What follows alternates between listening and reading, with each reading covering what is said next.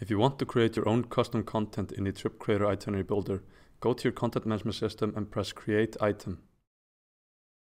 The first thing you will see on top is the different categories for your content. So you have destinations and attractions, stays, uh, food and drinks and transportation and other things as well. The first thing I'm going to do is give my content a subcategory. Then I can label it so it's easier to find in my library later on. I'm going to give my content a title and a basic description.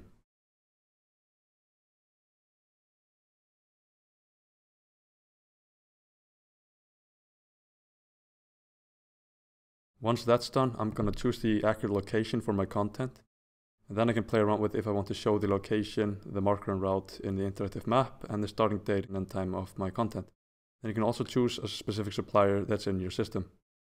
For translations, you can translate the original description to all of these languages that we have available in our system. All you have to do is press Use Auto Translation button from English or the original description, and it will automatically translate to said language.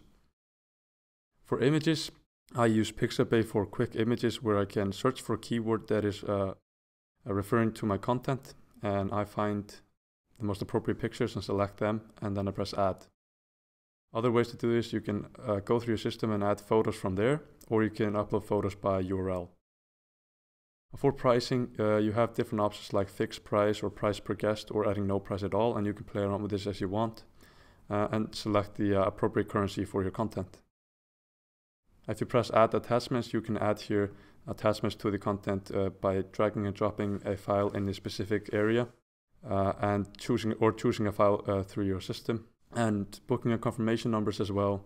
And once you filled out all the information, just press save. And when you go to my products, toggle that on and search for the title of your content that you just created. Uh, here, this is the content that I just created. I press add to itinerary and it's in my itinerary.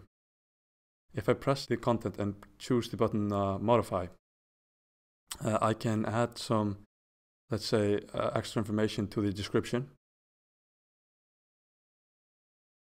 And when I go down and press save and close, and I take a look at the content in my itinerary, I can see that I have this extra description. However, the original content has not changed a bit.